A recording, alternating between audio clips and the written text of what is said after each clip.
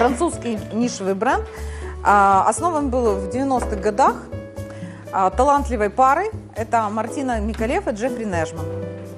Да, страсть и любовь, которая, и страсть к путешествиям, страсть друг к другу, любовь друг к другу, э, которая стала, вдохновила их на создание своих коллекций. Джеффри – потомственный банкир, Мартина – художница. Но Джеффри, будучи потомственным банкиром, он открыл в себе дар парфюмера и начал создавать ароматы. А Мартина художница, закончила художественную школу и очень много лет еще работала в косметическом салоне, более 20 лет. И, естественно, как художник, как творческий человек, а Мартина внесла свою лепту в оформление флаконов.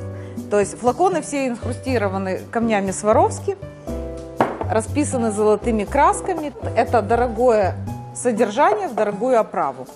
Если сравнивать с другими нишевыми брендами, то в основном речь идет о том, что флакон как бы одинаковые, главное внутри, то у Мартины все-таки здесь есть элемент творчества. И что характерно для Миколев, это э, четкое разделение между женскими и мужскими ароматами. То есть единственный аромат, который есть у нее унисекс – это пачули. Все остальные ароматы сугубо либо мужские, либо женские. У Мартины практически у всех ароматов э, есть свой фирменный почерк – это белый мускус и ваниль. Два компонента, э, которые всегда э, присутствуют в шлейфе.